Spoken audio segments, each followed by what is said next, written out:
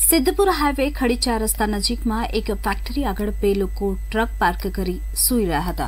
તે દરમિયાન ત્રણ ઇસમો બાઇક લઈને આવ્યા અને લૂંટ કરવાના ઇરાદે ટ્રક ચાલકને છરી બતાડી મોબાઈલ લૂંટી લીધો હતો.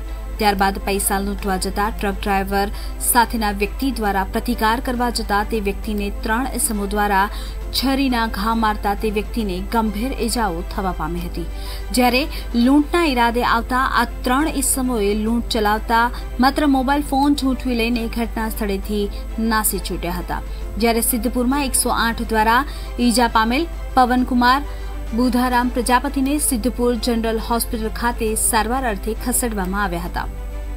સિદ્ધપુર પોલીસને ઘટનાની જાણ થતાં હોસ્પિટલમાં ડવા એસપી તેમજ પીઆઈ સહિતનો સ્ટાફ દોડી આવ્યો હતો, તેમજ આગળની જે કાર્યવાહી હતી તે હાથ ધરી હતી.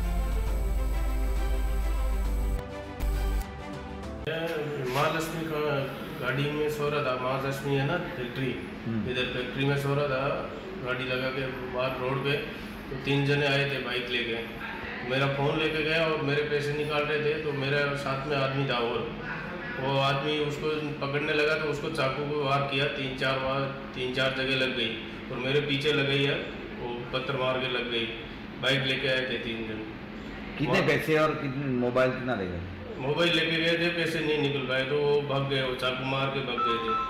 कहाँ पर हुआ वो ये बना? ये महालक्ष्मी फैक्ट्री है ना। महालक्ष्मी फैक्ट्री कहाँ पर आई? ये भैंस वाले चौराहे से ऊँचा की तरफ़ है ना आधा किलोमीटर